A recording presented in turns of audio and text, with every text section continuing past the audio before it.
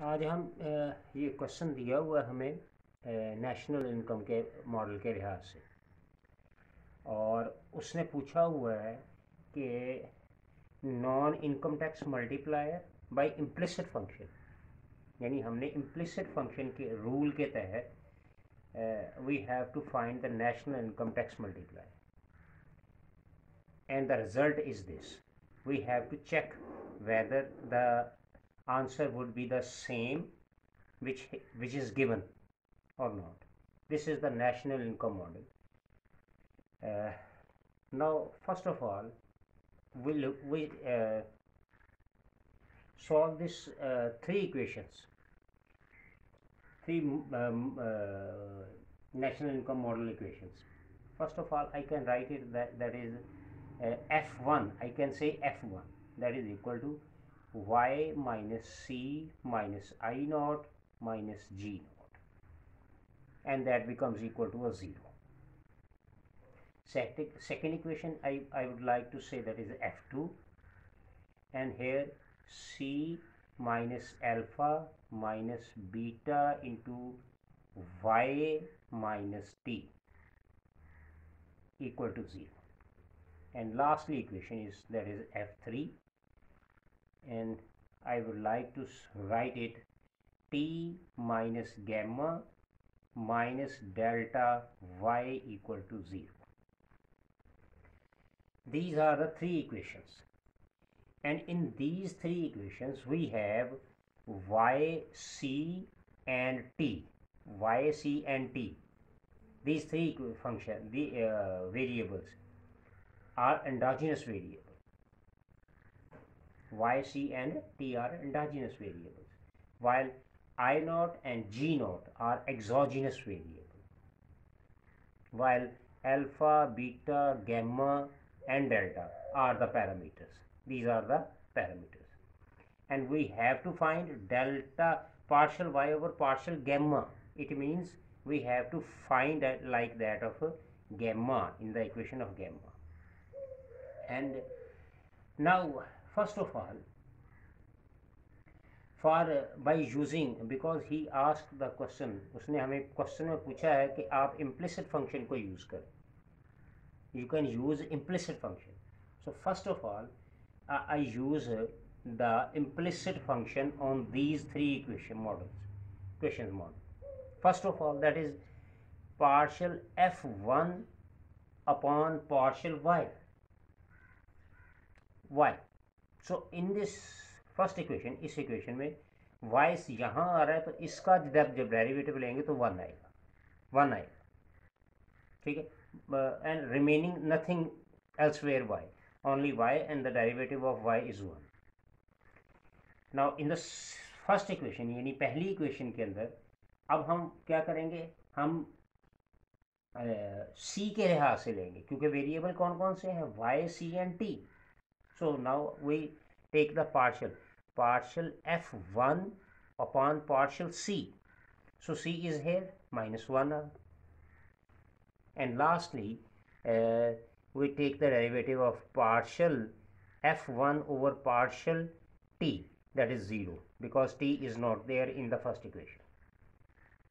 Now in from the second equation again partial f2 upon partial y and uh, y is there. Look at this y. Uh, so uh, the derivative of y is 1 and minus beta is left there. So this will be a minus beta. अगर आप देखें तो यहाँ से क्या रह जाएगा? y का डेरिवेटिव वन है और ये साथ मल्टीप्लाई हो रहा है। सो माइनस बीटा आ जाएगा और इसी तरह से partial f two upon partial c के लिहाज से इसी इक्वेशन में सी के लिहाज से सी इस यहाँ इसका वन आ जाएगा। or lastly uh, we take partial derivative f2 upon f partial t और t यहाँ पे देखिए ये आ रहा है here is t so derivative of t is minus 1 this minus and this minus this will be a plus so beta answer will be a beta now last equation again partial f3 upon partial y now y y is not there so 0 partial f3 upon partial c. And here is c is also not there so it will also be a 0 oh sorry sorry partial y uh, here is y is there. Y is there so this will be a minus delta not 0 that is minus delta. And lastly partial f3 upon partial t. So t is there that is equal to a 1 that is equal to a 1 so uh, first step which he asked us in the question that is uh, implicit function rule. So we use these uh, implicit function rules by using Jacobian. So Jacobian uh, determinant. Now what we have to see what we have to see that is uh, we solve it uh, uh, Jacobian determinant that is J for Jacobian and the answer of these 1 minus 1 0 minus beta 1 beta minus delta 0 1 अब इसको आप solve कर लें इस equation आप इसको आप इस डिटर्मिनेंट को आप सॉल्व कर लें तो ये वन माइनस ज़ीरो आ जाएगा प्लस वन और minus beta plus beta delta आ जाएगा और ये लास्ट ज़ीरो है तो सारा ही ज़ीरो हो जाएगा all zero so this will be a one minus beta plus beta delta. ये मेरे पास आ गया जी जेकोबियन डिटर्मिनेंट आ गया। ठीक है? अच्छा। Now what we have to do we we here we use uh, either by Cramer rule or inversion method. We may use we may use uh, Cramer rule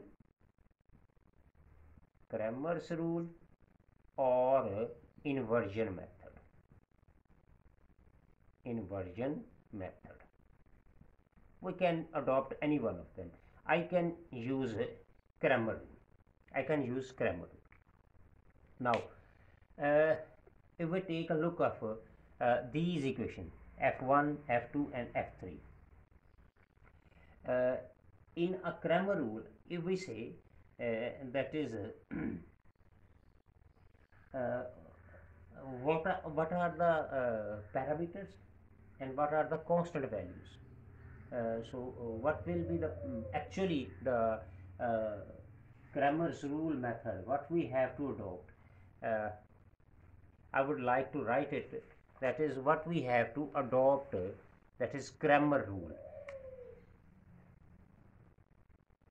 Look at this I, I write a Cramer rule. That is first of all partial f1 o upon partial y.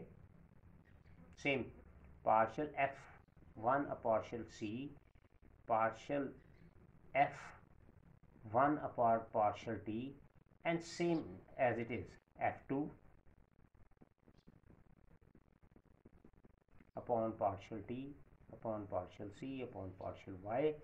And lastly that is partial f3 upon partial y uh, partial f3 upon partial c and lastly partial f3 upon partial t. So this will be a determinant. And again we have to solve what we have to solve that is a, a partial y over partial gamma. Partial c upon partial gamma and partial t upon partial gamma. And that becomes equal to a that becomes equal to a that is minus partial f1 upon partial gamma minus partial f2 upon partial gamma and minus partial f3 upon partial gamma. So we have to use this by Cramer rule by Cramer rule and then we can solve these questions. Uh, now you can see that uh, we just have to solve partial y over partial gamma not partial y partial c over partial gamma and not because he asked that is partial y over partial gamma to solve this question. So first of all uh, the answer of this that is a Jacobian which we have solved already that is a determinant that is a matrix like uh, 1 minus 1 0 minus beta 1 beta minus delta 0 and 1 and this will be a constant that uh, we will write it as the partial y over partial gamma partial y over partial gamma partial c over partial gamma and partial t over partial gamma. So we have to write it as same as it is. Now uh, that is equal to that becomes equal to a partial f1 over partial gamma so uh, you can see it from the first equation from the first equation uh, you can see it here from यहाँ इस equation में देखें तो gamma यहाँ पे नहीं है gamma is not there from the f one so this will be a zero so next partial f or partial gamma again second equation gamma is not there so it will also be a 0 and in the last equation look at this. Gamma is there. That is minus 1 look at this minus 1 so this minus and this minus this will be a plus 1 so this will be a matrix form which now we can solve either by inversion method or by Cramer rule. So I uh, like to solve it by a Rule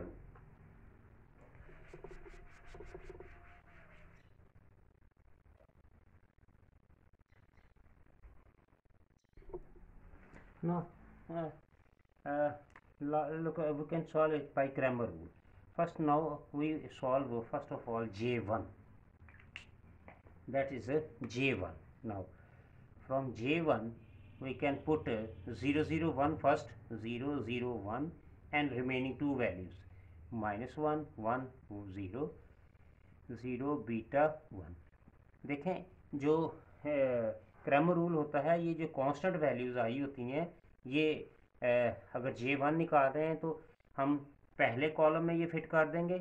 अगर हम यहाँ पे delta C निकालते तो हम second column में fit कर देते। और अगर डेल्टा टी निकालते तो हम थर्ड कॉलम के अंदर फिट कर देते। अब ये कांस्टेंट की वैल्यू जो है we just put on the first call अब आप इसको सॉल्व कर लें जेकोबिन को। Uh, तो ये फ़र्स्ट ज़ीरो है तो ये सारी ज़ीरो हो जाएगी। ये वन आ जाएगा माइनस ज़ीरो आ जाएगा और नेक्स्ट भी ज़ीरो है तो ये सारे ज़ीरो हो जाएगा। तो आंसर क्या आ जाएगा? वन आ जाएगा। ठीक है? ये जे वन आ गया। अच्छा देखें यहाँ पे अब हमने क्रैमर रूल यूज़ करना है। तो निकालना क्या है? Partial y over partial gamma अब देखें, ये फार्मूला होगा जे वन ओवर जे का। ये फार्मूला होगा। अब जे वन मेरे पास क्या आया? वन और डिटर्मिनेंट हमने पहले ऑलरेडी सॉल्व किया हुआ, उसका आंसर क्या आया था? वो आया था one minus beta plus beta delta तो ये था जनाब आंसर जो कि उन्होंने पूछा हुआ था क्वेश्चन के अंदर कि आप इसको चेक करें कि रिज़ल्ट आता है या नहीं।